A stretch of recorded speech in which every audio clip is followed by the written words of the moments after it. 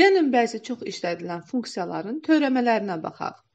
Bu videoda isbat etməyəcəyik, sadəcə anlamağa çalışacağıq. Əvvəlcə trigonometrik funksiyalarla başlayaq. Sinus x-in x-ə görə törəməsinə baxaq. Bu kosinus x-a bərabər olacaq.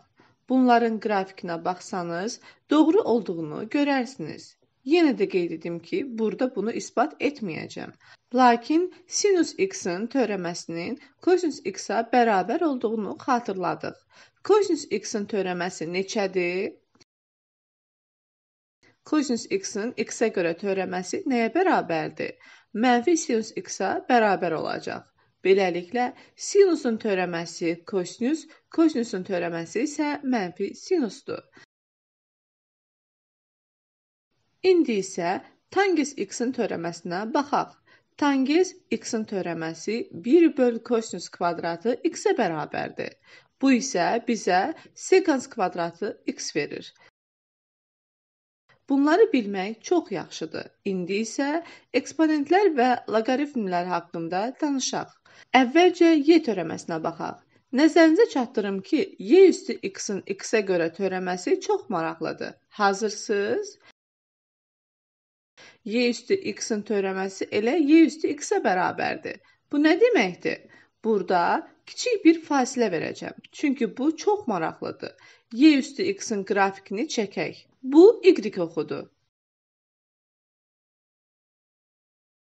Bu isə x oxudur. Beləliklə, x-in mənfi qiymətində y üstü mənfi qiymətdə biz sıfıra yaxınlaşacağıq. y üstü sıfır isə 1 olacaq. Deməli, bu 1 olacaq. Bu şəkildə olacaq. Bu eksponensialdır və çox sürətli bir şəkildə artmağa başlayır. Deyək ki, bu y bərabərdir y üstü x-in qrafikidir. Gəlin görək bu nə deməkdir? Burdan başlayaq.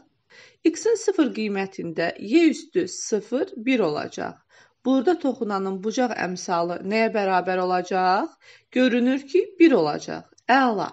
Burada x-in 1 qiymətində y üstü 1 və ya y burada olacaq. Bəs burada toxunanın bucaq əmsalı nəyə bərabərdir? Bucaq əmsalı da həmçinin y olacaq. Verilmiş istənilən nöqtədə toxunanın bucaq əmsalı funksiyanın bu nöqtədəki qiymətinə bərabərdir. Bu əladır. Y ədədi çox maraqlıdır. Videonun məğzi bu deyil amma. Bu videoda biz törəmələrə baxırıq. İndi isə natural loqaritm x-in x-ə görə törəməsinə baxaq. Bu da çox maraqlıdır.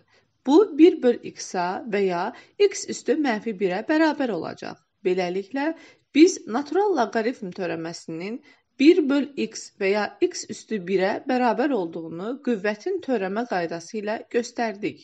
Hansı funksiyanın törəməsi x üstü mənfi 1-ə bərabərdir? Qüvvətin törəmə qaydası ilə funksiyanın törəməsinin x üstü mənfi 2-yə, x üstü mənfi 3-ə, x kvadratına və ya x üstü 5-ə bərabər olduğunu tapa bilərik. x üstü mənfi 1 isə natural loqaritm törəməsidir. Bu videoda biz bunu isbat etmədik, lakin növbəti videolarda isbat edəcəyik.